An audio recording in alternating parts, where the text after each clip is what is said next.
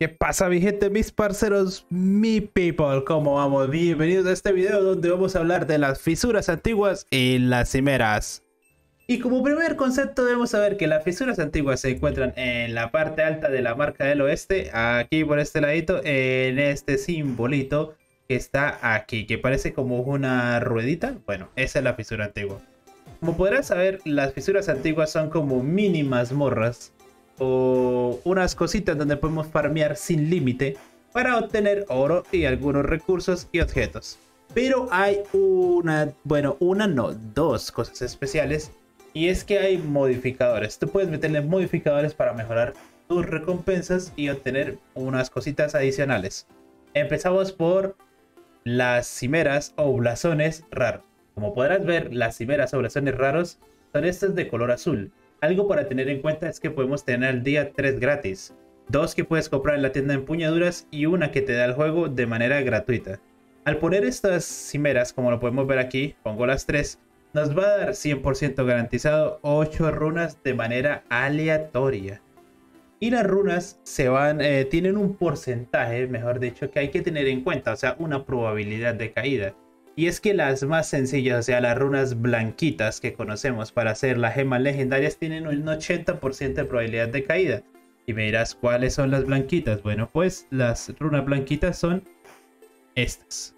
La Draw en All, la Surso, Nie, Fear Or, bueno, todas estas. Porque las azules, que son estas de aquí abajito, tienen un 20% de probabilidad de caída. Así que tienes que tener en cuenta esto para cuando uses tus cimeras raras.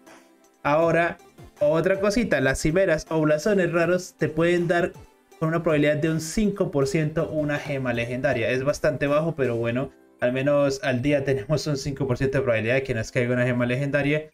Que bueno, no es tanto, pero sirve. Como segundo modificador tendríamos las cimeras legendarias que no tengo porque soy pobre y no puedo comprar ninguna, ni una. Puedes comprar una vez al mes en la tienda de las empuñadoras una cimera legendaria. ¿Y estas cimeras legendarias que tienen? Bueno, que tienen un 100% de probabilidad de caída de gema legendaria que está distribuida en las calidades y en las estrellas. Y te lo voy a explicar muy rápidamente. Primero que nada, las gemas legendarias de una estrella tienen un 75% de probabilidad de caída. Así es, 75% de probabilidad de caída de 2 estrellas tiene un 20% de probabilidad de caída y de 5 estrellas un 4.5% de calidad, de calidad no, de probabilidad de caída. Así que ahí estaría reunido eh, aprox el 100% entre las tres y verás que lo que más no puedes, nos puede caer es una gema legendaria de una estrella. Internamente el juego te garantiza que por cada 50 cimeras legendarias te va a dar una gema legendaria de 5 estrellas. Vaya locura de Dios. ¿Sabes por qué es una locura? Porque de manera gratuita nos va a tomar 50 meses sacar una gema legendaria de 5 estrellas garantizada. Bueno, los que tengan dinero pues lo sacarán muy fácil. Ahora, cuando te caen las gemas legendarias fijas con la cimera legendaria o blasón legendario, tienen una probabilidad de calidad, porque como sabes la calidad va del 1 al 5. Pero lo mínimo que te puede caer es calidad 2, o sea, rango 2. Y el rango 2 tiene un 75% de probabilidad. El rango 3 tiene un 20%, el rango 4 tiene un 4% y el rango 5 tiene un 1% de probabilidad. Que bueno, eh, es como que ahí va la vaina, ¿no? Ahí va la vaina. En cuanto a probabilidad de caída de runas, es la misma que con las cimeras raras, porque las runas, pues es prácticamente lo mismo, no cambian nada. La diferencia es que si utilizas cimeras o blasones legendarios, pues te van a caer las gemas legendarias fijo con las probabilidades de las estrellas o los rangos o calidad que ya te mencioné. Ahora, las cimeras raras y las cimeras legendarias tienen una probabilidad de aplicar modificadores a la fisura, tanto positivos como negativos. Como podrás ver en este caso, las tres cimeras raras me han aplicado tres modificadores. Uno positivo que me dice que los monstruos sueltan más orbes de energía y dos negativos, que uno dice los jugadores que permanezcan inmóviles más de 3 segundos quedarán inmovilizados durante un breve lapso. O sea que no te puedes quedar quieto, tienes que ir andando porque si no te vas a congelar. Y el otro sería se producen erupciones de lava periódicamente debajo de los jugadores. Va. Internamente el juego tiene otra opción y es que si utilizas 10 cimeras legendarias para potenciar una fisura, te van a dar un drop multiplicado por 10. Así que lo que saques va a ser 10 veces mejor. Entonces imagínate la cantidad de drop que va a sacar la gente que pueda meter 10 cimeras legendarias. Es una locura total. Y bueno, parceros, pues eso es básicamente lo principal en cuanto a drops. Como te podrás dar cuenta, cuando se termina una fisura con cimeras raras en este caso, pues te va a dar el drop y te va a dar las runas que se ven aquí botaditas. No tienen el nombre como tal, pero están botadas ahí alrededor de donde murió el bicho.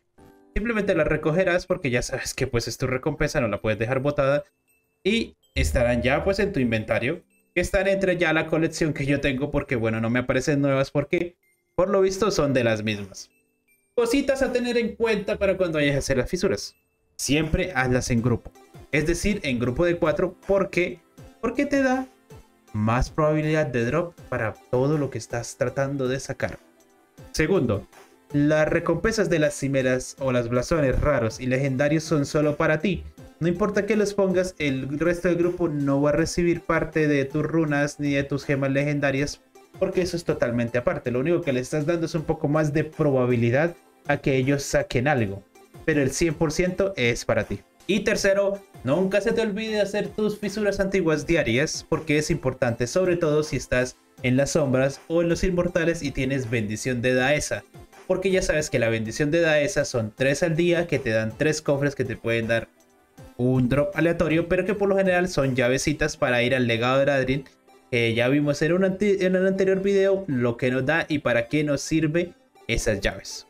Así que parceros, es Espero que este video sea de mucho de tu ayuda, que sea de tu agrado, que espero que te sirva un montonazo.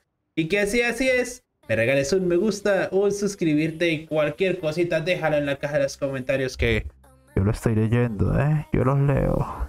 Así que se me cuidan parceros y nos vemos en un próximo video y en el stream. Hasta la próxima.